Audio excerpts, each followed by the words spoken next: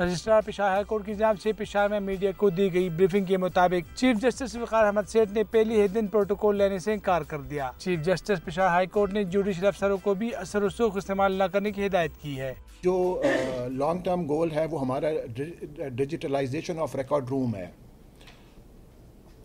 اس سلسلے میں ہم نے کام شروع کر دیا ہے جی۔ ایز اے فرسٹ اسٹیپ ہم نے جو ساری لسٹس مینٹین کرنی شروع کر دی ہیں۔ رجسٹرار پشاور ہائی کورٹ کے مطابق مختلف اضلاع میں زیر التوا سول اور کرمنل کیسز کی تعداد ایک لاکھ اسی ہزار سے زائد ہے، جن کے خاتمے کے لیے نئی پالیسی تشکیل دی گئی ہے۔ اب یونٹ کی بنیاد پر کیس کا فیصلہ کیا جائے گا۔ ہر جج مہینے میں کم از کم پچہتر اپیلوں پر فیصلہ کرے گا۔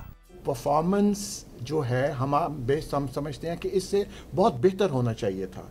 پہلے بھی بہتر رہا ہے، بہت اچھا رہا ہے، مگر اگر ہم اپنے لیے ایک ٹارگٹ فکس کر کے اور ہم اس ٹارگٹ کو اچیو کرنا چاہتے ہیں شارٹ ٹرم گولز رکھنا چاہتے ہیں لانگ ٹرم گول رکھنا چاہتے ہیں، تو میرے خیال میں یہ زیادہ بہتر طریقے سے ہم اپنا پرفارمنس جوڈیشل آفیسرز کا ایکسپیکٹ کرتے ہیں۔